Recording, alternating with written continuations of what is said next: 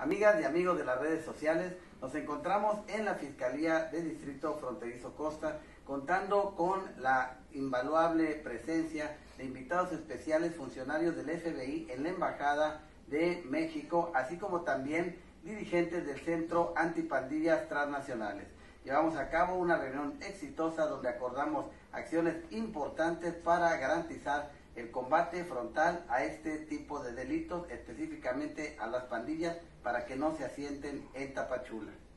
Las instrucciones del licenciado Raciel López Salazar, fiscal general del Estado, es trabajar de manera multilateral con nuestros hermanos de Guatemala en la protección de nuestros migrantes y la sociedad en general. Estoy acá invitado por el licenciado Vila para poder apoyarlos con este fenómeno transnacional que son las pandillas, ¿verdad?